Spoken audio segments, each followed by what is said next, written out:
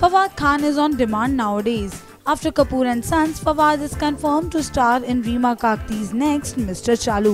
Well, आपको बता दें कि the role was first offered to Saif Ali Khan, but due to some disagreements, Saif opted out, and later the role was offered to Shahid Kapoor as well.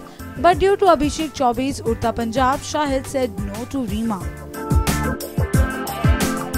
So the role goes to Pakistani actor Fawad Khan and the cherry on a cake is Priyanka Chopra, the main lead of this film. Fawad is playing a con man and his on-screen love interest will be Priyanka Chopra. Well, isn't it really good and amazing pair? Entertainment Desk, Bollywood Nazar, Mumbai.